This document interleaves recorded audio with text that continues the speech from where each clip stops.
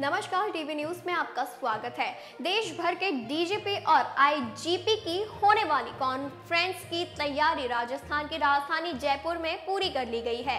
यह कांग्रेस गुलाबी नगरी के झालना क्षेत्र के राजस्थान इंटरनेशनल सेंटर में 5 जनवरी से 7 जनवरी तक होनी है। जयपुर में होने वाली इस कॉन्फ्रेंस में प्रधानमंत्री नरेंद्र मोदी और केंद्रीय गृह मंत्री अमित शाह, केंद्रीय गृह राज्य मंत्री निशीत प्रमाणिक गृह राज्य मंत्री अजय कुमार मिश्रा, राष्ट्रीय सुरक्षा सलाहकार अजीत कुमार डोभाल केंद्रीय गृह सचिव अजय कुमार भल्ला शामिल होंगे। इस कांग्रेस में सभी राज्यों के डीजीपी समेत पैरामिलिट्री फोर्सेस तथा अन्य जाँच एजेंसियों के प्रमुख भी जयपुर में शामिल हो सकते हैं। वहीं तीन दिन तक चलने वाली डीजीआईजी कॉन्फ्रेंस में देश के आंतरिक सुरक्षा समेत साइबर क्राइम, गैंगस्टरों के बढ़ते नेटवर्क, महिला अपराध तथा सुरक्षा एवं कानून व्यवस्था से जुड़े हुए मामलों के बारे में चर्चा हो सकती है।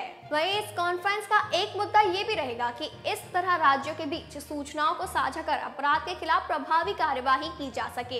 वहीं इस दौरान केंद्रीय गृह मंत्री अमित शाह, पुलिस अधिकारियों को उनके उत्कृष्ट योगदान के लिए भारतीय पुलिस मेडल प्रदान करेंगे। कॉन्फ्रेंस में हिस्सा लेने के लिए प्रधानमंत्री नरेंद्र मोदी पाँच जनवरी को जयपुर पहुँचेंगे, वह सात जनवरी को जयपुर से प्रस्थान करेंगे।